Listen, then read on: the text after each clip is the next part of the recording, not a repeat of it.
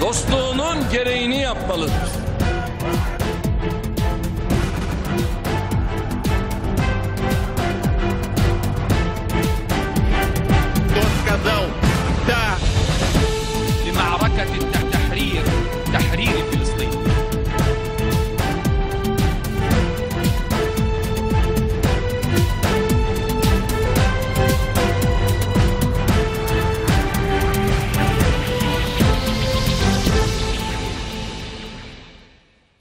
İyi akşamlar sevgili seyirciler. Dış politika programı küresel siyasetle karşınızdayız. TRT Haber ekranlarında her zaman olduğu gibi programda bize eşlik edecek çok değerli konuklarımız var. Profesör Muhittin Ataman, Ataman Doktor Ufuk Ulutaş, Profesör Mesut Özcan ve Doçent Doktor Murat Yeşiltaş'la birlikteyiz. Elbette Türkiye'nin gündemi 24 Haziran seçimleri ancak çok sıcak dış politika başlıkları da var. Malumunuz dün Dışişleri Bakanı Mevlüt Çavuşoğlu uzun zamandır beklenen o görüşmeyi gerçekleştirdi Washington'da. Amerikalı mevkidaşı Pompeo ile bir araya geldi. Ana gündem Münbiç'ti ancak Amerika Birleşik Devletleri ile Türkiye arasındaki önemli konu başlıkları da masadaydı. Hemen başlayalım. Ee, Çavuşoğlu bugün bugün döndü Antalya'da e, basın yayın organlarının Ankara temsilcileriyle bir araya geldi. Görüşmeye ilişkin ayrıntı verdi. Ee, görüşme bir saat sürdü ancak konu önemliydi gerçekten. Münbiç meselesi. Buradan başlayalım biz de dilerseniz. Bununla ilgili sıcak bilgiler de geliyor. İşte Reuters YPG askeri danışmanlar diye adlandırdı. E, terörist Münbiç'ten e, çekilmeye başladığını haber veriyor örneğin. E, bugün yine e, anlaşmaya ilişkin verilen ayrıntıların önemli konu başlıklarından biri o malum takvimdi. Siz nasıl değerlendirdiniz görüşmeyi? Türkiye beklentilerini karşılayabildi mi bu görüşmeyle? Münbiç'teki yol haritası nasıl ilerleyecek? Sizinle başlayalım dilerseniz. Şimdi e, dün bir saatlik bir görüşme yapıldı ama onun öncesinde e, ekipler çok e, Mekanizmalar kurulmuştu. önemli çalışmalar yaptılar ve e, Sayın Dışişleri Bakanlarına e, o nihai e, aşamaya taşımak kaldı anlaşmayı. E, belki yarından itibaren e, Türkiye'de de basın özellikle e, fazlasıyla yer bulur. Çünkü e, bugün sabahki e, Sayın Dışişleri Bakanı'nın o basın toplantısı muhtemelen e, e, Türkiye'nin mesajlarının veya toplantıda nelerin konuşulduğunu anlan- anlanması açısından önemli e, bir şeydi, bir dönüm noktasıydı.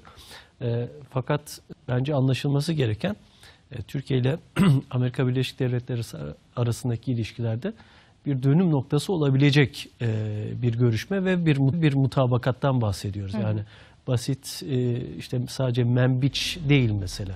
Membiç'te aşan boyutları olan bir anlaşmadan bahsediyoruz. E, işte PKK'nın çekileceği, ardından Türkiye ile Amerika Birleşik Devletleri'nin bir güvenlik e, şeyi düzenlemesi yapacağı, orada güvenliği birlikte tesis edecekleri bir yapının e, oluşmasından bahsediyoruz ama bunun bir adım ilerisinde Türkiye ile Amerika Birleşik Devletleri arasında e, bir süredir devam eden işte günel, gü- e, güven bunalımı, e, gergin ilişkiler, e, sorunlu ilişkilerin belki bir e, düzelmesinin e, başlangıcı olacak bir e, eşikteyiz aslında. Eğer gerçekten bu e, anlaşma e, o mutabakata varıldığı e, şekliyle e, sahada karşılık bulur, PKK çekilir.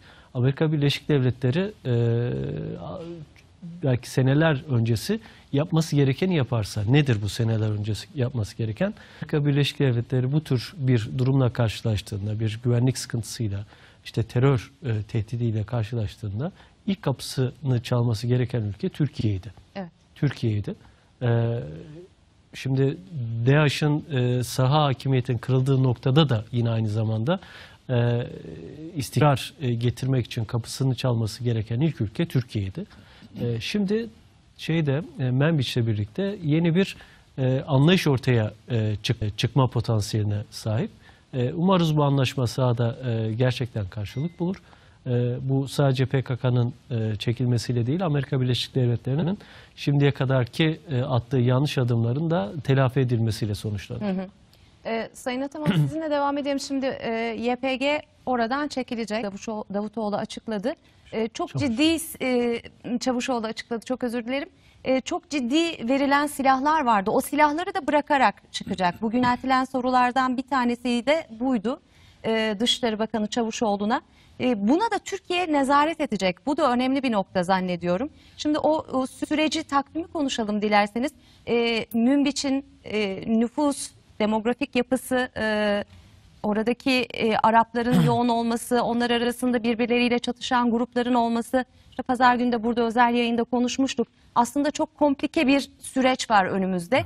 Size göre bu belirtilen süre e, ve ortaya konulan hedef e, örtüşebilecek mi? Nasıl bir süreçten bahsediyoruz? Ne, ne, ne gibi zorluklar çıkabilir örneğin? Evet şimdi belirlenen hedef 3 aşamalı biliyorsunuz süreç. E, bu da 2 aylık bir süre içerisinde e, amaca ulaşacak şekilde e, dizayn edildi. E, gerçekleşebilir mi? Gerçekleşebilir. Fakat şartlı olarak. Yani bu tamamen Amerika Birleşik Devletleri'nin ortaya koyacağı iradeyle ilgili. Şu ana kadar e, sadece bu mutabakat değil, buna, buna benzer daha önce de bazı sözler sarf edildi. Yani böyle imza aşamasına getirilmiş belge vesaire. Belki bu kadar üzerinde teknik hazırlık yapılan bir belge olmamış olabilir. Fakat Amerika Birleşik Devletleri'nin gerçekten bir irade değişiminin olup olmadığı ve bunun sahaya yansıp yansımadığını bir test etmemiz lazım. Yani çok e, başkan başkan düzeyinde, bakan düzeyinde çok farklı sözler verildi. Fakat bunların uygulama e, konusunda sıkıntılar olduğunu, sürekli Türkiye'yi bir oyalama, hatta yıpratma siyaseti uyguladığını biliyoruz. E, Münbiç hani o Fırat'ın batısı e, olarak ifade ettiğimiz aslında bir e, geniş coğrafya sadece şehir merkezinden ibaret değil. Türkiye e, biliyorsunuz yıllar önce burayı bir kırmızı çizgi olarak belirlemişti. Yani ne olursa olsun YPG'nin oraya geçmemesi e, gerektiğini söylemişti.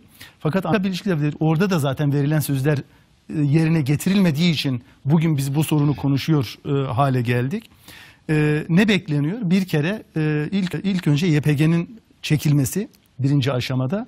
İkinci aşamada Türkiye ile Amerika Birleşik Devletleri'nin silahlı kuvvetlerinin ve istihbarat e, örgütlerinin orada e, uygun bir ortam oluşturması. Sonra oranın e, asıl sahiplerine bırakılması. Şimdi o sahiplerine bırakılması meselesi bizim e, Afrin Elbap'ta e, uyguladığımız aslında bir uygulamanın üçüncü bir örneği olarak bizim zihnimizde var. Yani devlet e, bu yönde bir tavır tavır takınıyor. Amerika'nın e, bu konuda ne kadar bizim tezimizi destekleyeceği konusu daha net değil. Yani e, Arap çoğunluk olduğu öncesinde YPG'nin orayı e, kontrol etmeden önce Arap çoğunluk olduğu fakat onlarla beraber Kürtlerin veya başka etnik grupların da yaşadığı belli. Yani e, ilk orijinal haliyle oranın nüfusu e, kimlerden oluştuysa o oranlarda bir yerel meclisin oluşturulması, o yerel meclisin bir yerel yönetimle desteklenmesi ve onun da Amerika ile Türkiye'nin e, güvencesine alınması. Yani şu anda orada e, oluşturmak istenen yapı bu. E, Bu noktada pardon e, Türkiye'nin referans noktası 2011 öncesi demografik yapı. Yani 2011 İşte olayların- olayların- olaylar olayların öncesi, başlamadan PKK'nın zorla yerlerinden etmesi başlamadan işte e, rejimin benzer şekilde zorla yerlerinden etmesi e, Bu oradaki 2011 demografik olmadığı için hani Münbiş daha sonra biliyorsunuz ele geçirildi. Daha farklı bir e, zaman dilimi Biraz yaşandı orada. Ama yani genel olarak Suriye'nin hani öncesinde o e, devrim öncesi, isyan öncesi durum neyse ona dönülmesi e, konusunda bir e, kanaat e, söz konusu. Şimdi bunun e, bunun da irtibatlı olarak o silahlar meselesine gelince silah konusunda e, ben e, verilen bütün silahların toplanacağı kanaatinde değilim. Zaten onun kontrolü çok çok zor bir durum. Bunu e, verirken de e, e, Türk yetkililer bunu ısrarla söylediler. Yani işte e, bu kontrol edilebilir bir şey değil. Hatta sı- sınırın sadece güneyinde değil. Yani güneyinde kimin eline geçeceği konusu, kime karşı kullanılacağı konusu ayrı bir sorundu. Ama Türkiye içinde e, e, sınır kuzeyinde de bunu kullanılacağı ki defalarca örneklerine de rastlandı. Yani Amerikan o dağıttığı silahlara e, öldürülen PKK'lı teröristlerin e, görüleriyle beraber e, verildi. Yani e, Amerika her ne kadar bu konuda garanti verse de bütün o silahların toplanması e, gerçekleşmeyecek. Fakat şu yine iradeye geliyoruz. Eğer Amerika iradesi gerçekten orada e, çok etkili olacaksa bunu minimize edebilir veya bunun kullanımını sınırlayabilir. Bir şekilde e, Türkiye tehdit e, oluşturmanın şey oluşturmaktan çıkarılabilir bir durum gerçekleştirilebilir ama bütün bunlar ben her halükarda Amerikan ortaya koyacağı iradeye bağlı kaldığını düşünüyorum. Yani bu e, belgenin gerçekleşmesi sadece iki devlet arasındaki ilişkileri değil, buna göre genel manada Suriye'nin kaderini de belirleyecek bir süreçtir. Çünkü bir şekilde Türkiye, İran ve Rusya'nın başlattığı sürecin başarıya ulaşmasına da dolaylı olarak engel çıkarıyorlardı. Bir iki aktör devreye girdi Amerika ile beraber. Biliyorsunuz Fransa ve e, İsrail de devreye girmiş oldu. Evet. Şu anda onlar da etkili siyaset et- izlemeye başladılar. Onların devreye girişi her ne kadar Türkiye aleyhine gibi görünmüyor olsa da YPG üzerinden yine bu Türkiye aleyhine veya muhaliflere karşıtlık, düşmanlık konusunda Türkiye karşıtı bir pozisyon oluşturabilir. Kısacası şu anda denklem çok daha karmaşık, kompleks bir hal Hale aldı. geldi. Bakalım ne olacak? Peki Muhittin Hocam'ın bıraktığı yerden devam edelim. Mesut Hocam e, şimdi gerçekten şunu sormak istiyorum. Bu e, Türkiye'nin Suriye politikasında Rusya ve İran'la devam eden bir süreç var hali hazırda. Şimdi Münbiç'te Amerika Birleşik Devletleri ile varılan bu e, uzlaşıya Rusya, İran nasıl bakıyor? Bunlar birbirini birbiriyle çelişen politikalar mıdır yoksa birbirini tamamlayıcı politikalar mıdır? Yani dışarıdan sade bir vatandaş için Suriye'nin bazı bölümlerinde Rusya ile çalışıyoruz, İran'la çalışıyoruz. İşte Münbiç'te şimdi Amerika Birleşik Devletleri ile. E bir de tabii e, bugüne kadar verilen vaatler ve sözler vardı Amerikan yönetiminden. E, bunların pek çoğunun da tutulmadığı malum. Şimdi bu anlaşmanın herhangi bir, bir bağlayıcılığı var mı diye soru yöneltildi bugün Dışişleri Bakanı Çavuşoğlu'na. E, taraflardan birisi e, anlaşmadan çekilmek isterse elbette anlaşmanın bir yükümlülüğü kalmayacak şeklinde yanıtladı Sayın Çavuşoğlu da. Dolayısıyla böylesine bir komplike e, önümüzde bir saha var ve bizi neler bekliyor? Biraz bunu anlamaya çalışalım. Şimdi tabii e, Suriye'de farklı aktörlerle çalışmanın arkasında yatan şey farklı aktörler farklı bölgelerde etkin. İster istemez siz de onlarla bir temasta bulunmanız gerekiyor. gerekiyor. Münbiç özelinde bunun Türkiye Amerika ile bu işi yapmak için o epey bir zamandır konuşmasının sebebi oradaki Amerikan askeri varlığı, Amerikan danışmanlarının varlığı. E, üzerine varılan uzlaşıyla bir şekilde bir temas sağlanmış oldu ve Türkiye ve Amerika Birleşik Devletleri epey bir zamandır konuştukları bir e, uzlaşı, uzlaşıyla burayı PKK'nın burayı boşaltması ve burada Amerika'nın ve Türkiye'nin gözetiminde bir yeniden yapılanmanın olması ve yerel aktörlerin burada hem güvenliği sağlaması hem de yeni yapılandırmayı sağlamaları amaçlanıyor. Bunun başarısı ve ne kadar süre içerisinde gerçekleşeceği aslında Suriye'nin kuzeyindeki diğer yerlere yönelik de bize bir işaret verecek. Çünkü Tü- Türkiye sürekli olarak sadece burasıyla sınırlı kalmadığını ve doğuda da bir dizi benzer gelişmenin olmasını istediğini ifade ediyor. Amerika'nın buradaki tutumu çok belirli. Muhittin Hoca onu bahsetti. Burada ne kadar istekli olacağı buradaki başarıyı ciddi bir şekilde belirleyecek. Ama bundan sonrasında dediğiniz gibi taraflardan birisi çekilir çekilmez. Çekilip çekilmeme veyahut da bunun sürüp sürmemesi de biraz da alanda taraflar bu konuda ne kadar istekli hareket edecekler ve birbirlerinin endişelerine ne kadar cevap verecekler. Ama bu tek başına sadece oradaki yerel aktörlerle, YPG ile, PKK ile veya Türkiye ile, Amerika ile alakalı değil. Aynı zamanda siz de sorunuzda bahsettiniz. Suriye'nin diğer yerlerinde olan gelişmelerle de belirli ölçülerde ilişkili nedir? belki seyircilerimiz çok takip ediyor ama Suriye'nin güneybatısında da çok ciddi bir müzakere süreci yürüyor. Özellikle İsrail Rusya ile çok ciddi temas edip buradaki İran varlığını sona erdirmeye çalışıyor ve İsrail artan bir şekilde daha fazla Suriye krizine müdahil olmaya başlıyor.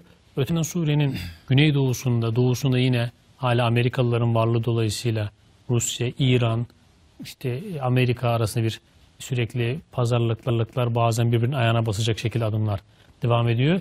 O bakımdan Membiç'te ortaya çıkan bu uzlaşının uygulaması ve bundan sonra ortaya çıkacak olan gelişmeler Kuzey bize bir işaret verecek. Diğer yönleri de etkileyecek. Türkiye burada şeyle çalışıyor, Amerika ile çalışıyor. Afrin'de belirli ölçülerde Rusya ile bir teması oldu. Bütün bunlar bize şunu gösteriyor. Her bir yerde farklı varlıklar söz konusu olduğu için buradan e, biz siz de bunlara temas etmeniz gerekiyor. Buradan rahatsız olacaklar kim rahatsız olur? Buradan İran mesela rahatsız olur. Tü- Türkiye'nin buradaki e, Amerika ile olan diyaloğundan ve Membiç'teki PKK varlığını sona ermesinden Amerika rahatsız olur.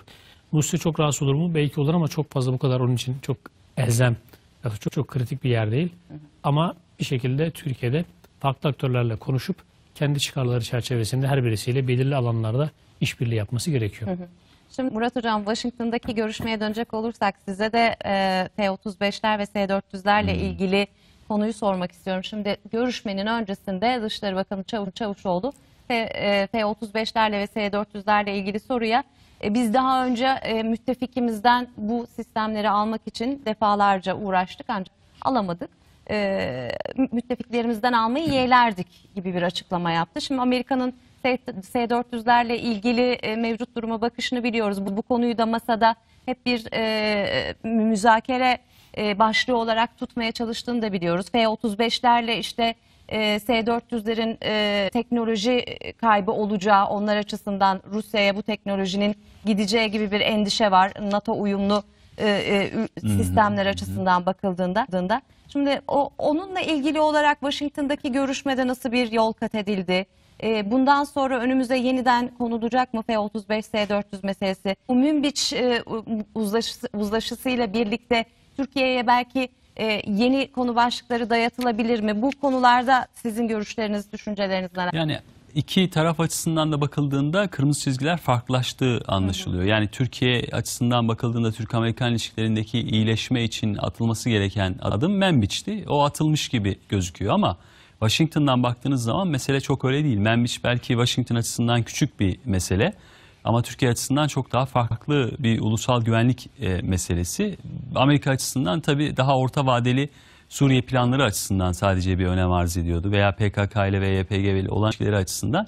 Tabii Washington'dan baktığımızda F-35 meselesi S-400 meselesi olduğu için ortaya çıkıyor. Yani e, kendi başına ortaya çıkmış bir mesele olarak anlamak pek doğru değil. Bu konuda da Amerikalıların S-400 e, konusunda da Amerikalıların aslında Türkiye'yi daha fazla e, caydırmaya çalışan bir siyaset izlediği e, görüyoruz. Yani ben, bilmiyoruz tabii Membiç meselesindeki bu ilerleme, kaydedilen ilerlemenin Türkiye'nin bastırmasından mı kaynaklandığını yoksa e, iki taraf arasında S-400'lerle veya diğer konularla mesela e, Rahip Brunson meselesi de var Evet. ki bu e, görüşmelerin e, önemli bir kısmını belki de e, oluşturdu. Onu tabii tam açık olarak olarak bilemiyoruz. Dolayısıyla S-400 meselesinde Amerikalıların tavrının çok açık olduğu belli. Ancak son dönemlerde e, Türkiye'nin S-400 meselesinden dolayı yapmış olduğu anlaşmadan geri vazgeçmeyeceği konusunda da Amerikalıların ikna olduğunu biliyoruz. Dolayısıyla burada bir tür orta yolu bulmaya e, çalışacaklar. E, ben şöyle düşünüyorum yönetim bazında bakıldığında yani Trump bazında bakıldığında belki Dışişleri Bakanı bazında bakıldığında Pompeo ölçüsünde bakıldığında e, F-35 meselesine dair bir problem olduğu anlaşılmıyor. Nitekim Lockheed Martin e, firması da savunma sanayi e, müsteşarlığına ve Milli Savunma Bakanlığı'na 22 Haziran'da yapılacak olan teslim töreninde dair bir e, davet mektubu gönderdi. yani dolayısıyla burada bir sıkıntı şu anda yokmuş gibi gözüküyor ama Amerika Birleşik Devletleri'nde özellikle Cumhuriyetçi senatörlerden bazılarının ki bu e, senatörler e, Türkiye ile ilgili ciddi bir manada olumsuz bir tavra sahipler. F-35 meselesini engellemeye çalışan bir tavır içerisindeler. Tabi burada hukuki bir mesele de, e, problem de, soru işareti de var gözüküyor. Yani e, Türkiye'nin ortağı olduğu bir, bir projeden Amerikan e, engeline takılabilir mi? Hükümet engeline takılabilir mi? Bu önemli bir soru. Ama firmanın Amerikan menşeli olması, Amerikan menşeli firmaların da en nihayetinde bazı satışlarda kongre onayının gerekli olmuş olması bu soruyu biraz daha muğlak bir cevapla karşı karşıya bırakıyor bizim açımızdan. Ama e, meseleyi Amerika Birleşik Devletleri'nde bu bahsetmiş olduğum e, isimler daha stratejik düzeye çekmiş durumdalar ve e, Türkiye'nin e, daha daha fazla e, ötekileştirilmesinin ya, Türk-Amerikan ilişkilerini bozmakla kalmayacağını aynı zamanda bölgede de yeni bir denklemin oluşmasına sebep olacağını hatta e, Amerika'nın bölgede yapmaya çalıştığı şeyin de karşısında olacak bir e, nedene dönüşeceği şeklinde. Dolayısıyla bu stratejik tablo, Amerika'nın okumasındaki stratejik tablo hem Membiç meselesini kolaylaştırıyor hem de F-35 e, konusunda Türkiye'nin çok ciddi bir e, problemle karşı karşıya kalmayacağını şu, şu anda gösteriyor.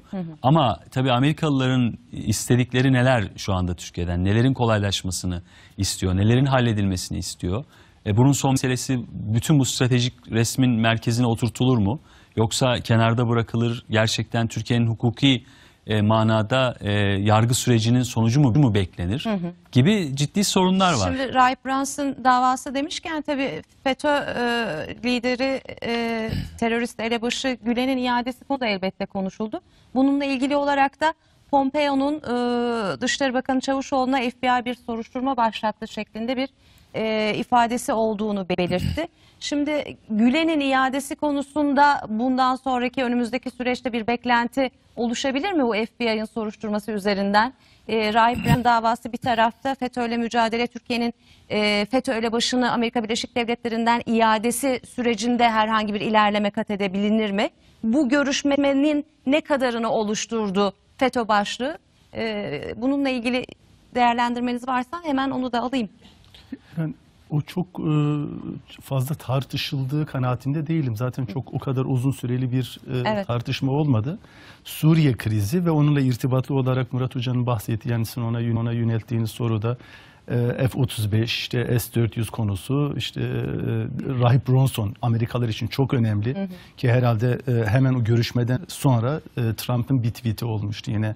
E, yani Türkiye'deki yargının yargı olmadığını vesaire yani biraz e, üstten e, bir bakış açısıyla yine e, e, belki bir anlamda hakaret içeren bir ifade aslında e, Türk yargısı ile ilgili Batı ile Türkiye arasında öyle bir oryantalist bakış açısı hala devam ediyor. Yani bunu bir parantez olarak söyleyeyim. Yani bizde devam ede gidenin e, hukuk olmadığı, yargı olmadığı ama işte ne bileyim doğrudan darbeye katılmış ins- insanların Yunanistan tarafından verilmemesi hukuk oluyor veya bilmem kim ne yaptı hukuk oluyor. E, FETÖ ile ilgili olarak son zamanlarda e, bir şey yok. Yani Aslında bizim- şu var. İki, Yani- şey var. Yani şey diyecektim. Yani son zamanlarda okulların e, ilave okulların açılması ile ilgili ciddi bir tepki oluştu biliyorsunuz. Am- Amerika'da yani 170 civarında okulları var. Yeni okulların açılması konusu yani 1 milyar dolar yıllık bir e, para e, tahsis etme durumu var. Amerika'dan yani sözüm ona vakıf olarak görülen o charter okullarına ciddi bir kaynak aktarımı söz konusu. Yani FETÖ'ye yönelik bir tepki var. Fakat devlet siyaseti e, noktasında e, biz evet bunu bir e, önemli konu olarak, sorun olarak masaya yatırıyoruz. Fakat e, bizim de doğrusunu söylemek gerekirse e, bu konuda hani e, hazırladığımız dosyalar 7 defa zannedersin resmi olarak müracaat yapılmış. Evet. Onlara karşı ve verilen cevapların dışında herhangi bir şey Evet, yok. hocam aslında şunu sormak istedim. Yani dediğiniz gibi Adalet Bakanlığı'nın Türkiye Cumhuriyeti olarak uluslararası hukuk kapsamında e, suçların iadesi sözleşmesi kapsamında bizim e, legal yollardan başvurularımız var bir tarafta. Bu FBI soruşturması ne anlama geliyor? Yani bunu nasıl ilintilendirebiliriz? E, o Amerikan Amerika'da- tarafından Amerika devletin içindeki durumla ilgilidir. Yani o onun bizimle bir ilgisi yok. İşte onu söylüyorum. İki, iki önemli husus var. Bu okulların e, 1 milyar dolar yaklaşık para tahsis etmek çok ciddi bir para, ciddi bir kaynaktır bu. Evet. Bu kaynağın e, yapılması yani orada dünya kadar sahtekarlık yapılmış. Yani e, öğrenci alımında, o para transferlerinde kendi insanlarına e, e, gayrimeşru bir şekilde para kazandırma, e, şirket oluşturma, hani kağıt üzerinde şirketler üzerinden e, para kaçırma, vergi kaçırma vesaire gibi durumlar dolayısıyla bir soruşturma var. Benim takip ettiğim kadarıyla. Yoksa bizi ilgilendirecek şekilde ikili e, iki ülke ilişkilerini ilgilendirecek herhangi bir soruşturma değil bildiğim kadarıyla. Yani FBI burada FETÖ e, FETÖ üyelerinin Amerika'daki veya Fethullah Gülen'in kendisinin darbeye ile ilgili e, bir sorumlu olup olmadığını araştırmak için böyle bir davaya açmış Öyle bir veya şey böyle yok. bir takibi yapmış durumda değil. Yani o daha çok Amerika Birleşik Devletleri'ndeki durumla ilgili, onların durumuyla ilgili. Çünkü Amerika Birleşik Devletleri'nde ciddi bir tartışma var. Sadece Fethullah Gülen, FETÖ'cülerin okullarıyla ilgili değil. Genel olarak bu okul sistemiyle ilgili Trump'ın da bu konudaki yaklaşımı e, bu anti charity dediğimiz yani daha çok bu yardım e, temelli okullar üzerine karşı olan politikası var. Onun da bir yansıması olarak ortaya çıkmış olabilir. Ama buradaki bence kritik konulardan bir tanesi görüşmelere de yansıyan bugün Sayın e, Mevlüt Çavuşoğlu'nun da ifade ettiği husus şuydu. Amerika Birleşik Devletleri Türkiye'ye sürekli bir takım şeylerin eksik olduğunu söylüyor. Ama bunların nelerin eksik olduğu konusunda net bir cevap vermiyor. Evet. Dolayısıyla Türkiye'ye bu söylenmesi lazım. Yani Türkiye'yi bir tür oyalama yönteminden Amerika Birleşik Devletleri'nin vazgeçerek ne Türkiye'nin verdiği dosyalarda eksik? Deliller mi eksik? Ya da ne bileyim süreç mi eksik? Dolayısıyla ona ilişkin net bir pozisyon Evet. ortaya koyması lazım Amerika Birleşik Bu, Devletleri'nin. burada sıkıntının e, belki e, iki ülke arasındaki tansiyonun en önemli sebeplerinden bir tanesi Amerika Birleşik Devletleri'nin e, işte bir şey vermeden, bir şey teklif etmeden, bir şey sunmadan sürekli istihdam pozisyonunda kendisini görmesi. E, yani müzakerelerde de en büyük şey bu. Yani sıkıntılardan bir tanesi buydu. Yani e, ne diyelim işte S-400 meselesi açılıyor ama e, biz hala işte Patriot sistemlerine dair bir teklif bekliyoruz e, Amerika Birleşik Devletleri'nden. Daha önce girişimimiz bu yönde malum e, e, işte sonuçsuz kalmıştı. E, Buna rağmen işte biz size henüz teklif vermedik ama siz S-400'leri Al. e, almasanız iyi olur. Şimdi bir konu bu. İkincisi e, şimdi darbenin en önemli isimlerinden e, yani darbe darbenin elebaşısı bir tarafta Amerika Birleşik Devletleri'ne kalıyor. Diğer tarafta darbeye e, darbeyle bağlantılı bir takım suç sebebiyle Türkiye'de e, işte gözaltında bulunan bir tane rahip. Evet. Şimdi siz rahibi bırakın e, ama Fethullah Gülen'e ben dokunmayacağım burada. Veya bakın hangi noktaya geldi bugün e, Sayın Bakan'ın e, dillendirdiği bir husus vardı. E, yani önce bir alıp bir işte ciddi bir suçlama var burada. Müttefikiniz tarafından ciddi bir suçlama var e, bu e, adama karşı. Siz alın bir sorgudan geçirin bari. Şimdiye kadar sorgu e, konusunda bile hiçbir adımın atılmaması işte Amerika Birleşik Devletleri'nin o e, takındığı e, hiçbir şey vermeden sürekli isteyen e, konumda bulunma e, şeyini ne derler e, alışkanlığını gösteriyor. Evet. Türkiye bunu yıkmaya çalışıyor. Yani bu işler böyle yürümüyor. Yani siz Membiç e, meselesini anlaştık. E, ama e, onun öncesinde ne oldu? Türkiye işte bir Afrin de- Operasyon. operasyonunu yaptı. Başarıyla e, bitirdi. Kısa süre içinde bitirdi. E, ve ben PKK'yı sınır hattından temizleyeceğim dedi. Tercihim müttefikimizle birlikte hareket edip bunu yapmak. Ama bu konuda bir adım atılmazsa ben kendim e, PKK'dan bu sınır hattını temizleme gücüne ve siyasi iradesine sahibim Sahibim dedi. dedi. Bunun üzerine bu tür bir diplomatik çaba ortaya koyuldu ve e, bir mutabakata varıldı. E, biraz Türk-Amerikan ilişkilerinin doğasının, tabiatının e, değişmesi lazım. Bakalım bu Membiç meselesi o tabiatın değişmesine nasıl bir katkıda bulunacak? Evet. Şimdi e, Membiç'le ilgili ekleyeceğiniz bir şey yoksa dilerseniz Kandil'e geçelim. Çünkü e, aslında sıcak konu orası. E, Kandil uzak hedef değil. E, siyasilerden gelen, e, devlet zirvesinden gelen mesajlar bu yönde. Yine bugün Antalya'da e, Dışişleri Bakanı Kandil'e yönelik olarak e, Irak Merkezi Yönetim Amerika Birleşik Devletleri ile e, görüşmeler halinde e, Kandil'e ilerliyoruz açıklamasında bulunmuştu. Akşam saatlerinde ibadeden bir açıklama var. Ee, Türkiye'nin toprak bütünlüğümüze saygı göstermesini e, istiyoruz şeklinde. Orada zaten bir seçim sonrası e, kaotik bir durum malum söz konusu. Konuştuk seçim sonrası oradaki atmosferi. Yani bu bir iç siyasete yönelik bir hamle midir ibadeden gelen bu açıklama? Şimdi Kandil'i konuşalım dilerseniz. Kandil'e olası operasyonu konuşalım. Bununla ilgili e, bölgenin önemini konuşalım. Türkiye artık siz de biraz önce söylediniz Fırat Kalkanı Harekatı, Afrin'e yönelik Zeytin Dalı Harekatı sınırları geçip Türk Türkiye'de teröristlerle mücadele yöntemini bırakıp yeni bir e, güvenlik stratejisi olarak artık onların yuvalandıkları yerde onlarla mücadele yöntemini benimsedi ve bu yöntemde başarılı bir şekilde ilerliyor gibi görünüyor. Şimdi Kandil konusunda neler söylersiniz? Operasyon yakın mıdır? Sonuçları nasıl olur?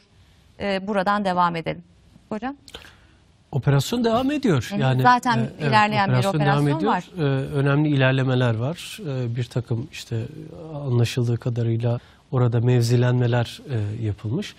E, PKK e, ciddi bir şekilde kan kaybediyor oraya ve Kandil'e doğru bir yürüyüş var. Aslında bunun mesajı çok önceden verildi. Yani bu tür bir operasyonun yapılabileceğine dair e, mesajlar. E, önce Türkiye içerisinde girilmeyen noktalara girildi terörle mücadelede. Malum ciddi başarılar e, elde edildi. E, ardından sınır ötesi e, operasyonlarla yine girilmeyecek yerlere girilmeye devam ediyor. Bu açıdan ciddi bir e, başarı söz konusu. E, ben bu konuda ilerlemenin devam edeceğini düşünüyorum. Hani e, özellikle İran ve e, Irak yönetimiyle e, belli bir anlayış oluşturulur ve bu sahaya e, yansıtılırsa operasyonun hem gidişatı hem e, başarısı açısından oldukça önemli olacaktır bu. İşte dediğiniz Irak'tan bir açıklama geldi. Malum Irak'ta bir seçim oldu. Bunun iç siyasete bakan yönü var ama onun dışında bir su, su sıkıntısı çıktı son e, gü- e, günlerde. O da yani Türkiye'nin defalarca ertelediği e, Irak'ın fazlasıyla e, şey bilgisi dahilinde e, bir şey var, bir süreç var orada. Yani bu e, işte barajı su toplaması için bir takım e, tasarruflarda bulunacağı Irak tarafının e, bilgisi dahilindeydi. Ama işte seçim sonrasındaki dönemde e, biraz da bunu işte bir iç politika malzemesi olarak kullanmak isteyenlerin veya Türkiye ile yeni bir gerginlik oluşturmak isteyen bazı çevrelerin Irak'taki kullanmaya başladığını görüyoruz. En çok sesi çıkanlardan birisi hala o eski başkan Maliki. Hal böyle olunca Irak'tan böyle açıklamalar geldi ama burada da kilit nokta şu. E, sınır ötesi bir operasyondan bahsediyoruz. E, PKK'nın da sınır ötesinden Türkiye'ye e, sürekli işte terör saldırılarında bulunduğunu biliyoruz. Merkezlerinin Kandil'de olduğunu biliyoruz. E, hal böyleyken e, normal şartlar altında e, gönül isterdi ki Irak e, merkezi hükümeti e, veya oradaki e, siyasi yetkililer, e, güvenlik yetkileri e, PKK'ya karşı kendi topraklarında bir e, işte gerçek manada önleyici tasarrufta bulunabilsinlerdi ki Türkiye bu operasyonu yapmaya ihtiyaç duymazdı. E, kaynaklarımızı oraya e, akıtmak zorunda kalmazdık. Ama böyle bir güvenlik boşluğu e, çerçevesinde yapılmış bir operasyon Türkiye'nin tabii ki sınır ötesinden kendisine karşı yöneltilen terör e, tehdidine karşı e, koyma hakkı da vardır. Yani uluslararası hukuk açısından da vardır. Ve bunu yaparken e, kat'i suretle herhangi bir ülkenin toprak bütünlüğünü e, bütünlüğünü halel getirecek şekilde de yapmıyor. Hatta aksine e, o e, ülkenin otoritesini yani merkezi hükümetini e, bir otorite olarak kabul ediyor. Bu operasyonu birlikte yapalım diyor. Birlikte e, yapma teklifinde, teklifinde bulunuyor. Evet. Peki e, terör örgütü PKK açısından bakacak olursak şimdi Membiç'te e, Amerika Birleşik Devletleri ile bir uzlaşı sağlandı. Membiç'ten çekilmek zorundalar. Şimdi Türkiye Kandil'e doğru ilerliyor. Bu konuda yine bölgedeki aktörlerle bir arada ortak bir operasyon yapma hazırlığında ile iş devam ediyor. E, epey kan kaybediyorlar. Yani bundan sonrası için ne olur? Onlar açısından nasıl bir strateji geliştirebilirler? Yani e, Kandil'in düşmesi ne anlama gelir? Bütün bu süreç içerisinde baktığımızda çok uzun yıllara yayılan bir mücadelesi var Türkiye'nin bu anlamda, bu yolda. Yani kökü tamamen temizlenebilir mi, kazınabilir mi Kandil'de düşerse? Ee, bu kadar mutlak e, bir beklenti içerisinde olmak mümkün değil. Doğrusunu söylemek gerekirse. Fakat şunu söylemek mümkün. Ee, PKK e, bir şekilde e, bir yıl öncesine kadar e, neredeyse kendisini devlet kurma aşamasına gelen bir siyasi e, entite olarak görmeye başlamıştı. Evet. Türkiye'deki e, kolu itibariyle değil, Suriye'deki Ki kolu orada da aynı itibariyle. şey. Efendim? Orada da aynı noktaya kendilerini görmüşler. e- Hendek terörünü vesaire hatırlarsanız. E- özellik ilanı. E, Ama ama Suriye'de o Türkiye'de de olmuştu. Türkiye'de şimdi bir hendek siyaseti vesaire falan oldu. Suriye'de böyle bir noktaya getirmişti ve aynı anda e, iki büyük güçle oynayabilen ve onların desteğini aldığını düşünen bir yapıdaydı. Yani sadece Amerika Birleşik Devletleri'nin değil aynı zamanda Rusya'nın da desteğini alan dolaylı veya doğrudan desteğini alan İran'dan ve Esed destek alan dolayısıyla iki bölgesel iki küresel aktörden ve bütün Batı'nın e, sözüm ona doğrudan veya dolaylı finansal, diplomatik, siyasi, askeri her türlü desteğine mazhar olan bir yapıydı. Böyle bir e, yapı iken Türkiye yanı başında kendisine yönelik doğrudan bir tehdit olarak algılayıp müdahale ettikten sonra hem e, Elbap ama özellikle Afrin operasyonu sonrasında e, ben e, PKK'nın ciddi bir şekilde güç kaybettiğini düşünüyorum. Yani bu onlar için e, hani ciddi bir e, menzil e, ve mevzi kaybetme Evet. e, olarak görüyorum. E, Kandil'in düşüp düşmemesinin e, birkaç anlamı olabilir. Yani Türkiye orayı e, sadece vurup geçici olarak boşaltıp oraya el koyup geri gelse bu bir şey ifade eder. Orayı boşaltıp oraya orada kalması dolayısıyla bir daha orada tutunmamasını sağlamak ayrı bir şey ifade eder. Veya bir operasyon yapıp işte ne bileyim çok sayıda onlara zayiat verip geri gelmesi başka bir şey ifade eder. Her halükarda ben Irak'ın hem hükümetin, hükümetin İran etkisiyle ama daha da önemlisi İran devletin ben o konuda çok dürüst bir işbirliği içerisinde olacağı kanaatinde değilim. Zaten Kandil dediğimiz coğrafya Irak İran sınırında Evet. öyle değil mi? Yani Türkiye'den uzakta ama e, hani önemli bir kısmı aynı zamanda İran işlerinde. Ben o İran işlerine mesela bunların kaydırmayacağını, o militanların oraya kaydırmayacağını hiçbir garantisi yok. Yani İran bir iş, biz şunu biliyoruz. Uzun süredir Türkiye'nin destek verdiği aktörlere e, karşı çıkan ama Türkiye ile mücadele eden aktörlere de destek veren, her türlü desteği veren bir yapısı var. Yani neredeyse İran İran Türkiye ile bu konuda bu Kürt siyaseti konusunda veya Kürtlerin aktörleri ve onların içlerindeki e, gruplar itibariyle hangisi Türkiye'ye yakınsa İran onun uzak tutmuştur. Yani Evet. mesela Barzani örneğinden e, e, bahsedebiliriz. Öbür tarafta sadece PKK değil, Goran Hareketi üzerinden, e, KYB üzerinden yani Taliban'ın hareketi e, partisi üzerinden bunlar hep İran'la işbirliği içerisinde olan aktörler Evet. ve onların da PKK ile aynı zamanda çok yakın ilişkileri var. Yani yani en az bu konuda işbirliği yapan aktör herhalde yine KDP'dir. Evet. Yani Türkiye ile e, yakın duran aktör. Ekleyeceğiniz var mı hocam? Çünkü yavaş yavaş sonuna geliyoruz. Bir canlı yayına gitmemiz gerekecek Mesut Mesut hocam. Şunu söylememiz lazım. E, Burada böylesi bir operasyonun başarısı büyük ölçüde Türkiye'nin askeri faaliyetleri kadar bölgesel gelişmelere çok çok bağlantılı. Bağdat örneği vurgulandı. Bağdat'taki hükümet kurma süreci milliyetçiliğin yükselmesine ve herkesin Irak'ın toprak bütünlüğünü ne kadar koruduğunu göstermesine yönelik bir dizi söylemi beraberine getirebilir. O yüzden burada bir zorluk ortaya çıkacaktır. Öte yandan Erbil'le muhakkak temas edilmesi gerekiyor. Erbil'deki yönetimle Türkiye bu noktada müzakere ettikçe, temas kurdukça burada alan daha fazla açılacaktır ve aslında Erbil'de, KDP'de böylesi bir şey isteyecektir. Çünkü onlar da PKK'nın oradaki varlığından belirli ölçüde muzdarip. Bunu belirli ölçüde kullanıyorlar ama öte yandan tam anlamıyla çok fazla etkili olmasını istemiyorlar. Evet. O yüzden bu gelişmeler bir yandan Amerika ile bir yandan da Bağdat ve daha çok Erbil'le olan temas sayesinde şekillenecek. Yani konjöktür konjöktür PKK'nın aleyhine işliyor şu anda. O Evet. 2010 15 16'larda elde etmiş olduğu rüzgar şu anda terse e, dönmüş durumda. Burada tabii ki Türkiye'nin e, terörle mücadelesinde sahip olduğu paradigma değişimi ciddi bir rol oynuyor. Ama bu paradigma değişiminin sahaya yans- yansıması çok daha önemli. Yani paradigmayı, siyasetinizi değiştirirsiniz ama bunu sahaya ulaştıracak araçlarınızdan yoksunsanız ve bunu en, en önemlisi dilebilir kılamıyorsanız e, sonuç elde edemezsiniz. Türkiye bunu başarmış durumda şu anda. Evet. Yani o bağlamda e, Türk Silahlı Kuvvetleri'nin meseleyi ele alma biçiminde bile çok bile çok ciddi bir değişim olduğunu görüyoruz. Yani sadece stratejik düzeyde değil, taktiksel ve operatif düzeyde bu e, bölgeye e, intikal etme. Şimdi mesela Kandil meselesi o stratejinin bir parçası gibi gözüküyor. Yani Evet. daha önceden de Kandil'e biz e, müdahalede yaptık ama başarılı olamadık. Şimdi ama daha Kandil'i e, kıskaca alan, onu etrafıyla izole eden bir biçimde işliyor askeri strateji. Tabii bunun yanı sıra e, teknolojik üstünlük son derece önemli. Artık Evet. PKK'nın Türk Silahlı Kuvvetleri'nin bu teknolojik üstünlüğüne e, çok fazla e, meydan okuyacak bir potansiyeli olmadığını e, görüyoruz. En önemlisi de şu, e, uluslararası konjektürde e, siz bu böylesi terörle mücadele aktif bir biçimde yürütürken, askeri olarak da başka ülkelerin topraklarında hareket ediyorken, başka üçüncü ülkelerin eleştirilerine göğüs gerebiliyorsanız, Evet. Amerika olabilir. Bu zamanında çok yaşadık. 2008 Güneş Harekatı vardı mesela. 7. günün sonunda geri dönmek zorunda kalmıştık.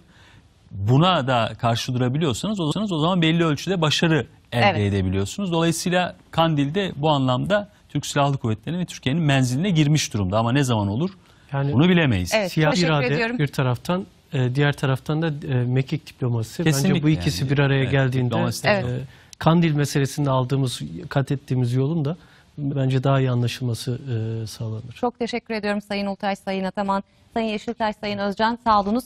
E, bu haftada süremizin sonuna geldik sevgili seyirciler. Haftaya salı günü, salı günü saatler 21'i gösterdiğinde küresel siyasette Türkiye'nin dış politika başlıklarını konuşmaya devam edeceğiz. İyi akşamlar diliyorum. Hoşçakalın.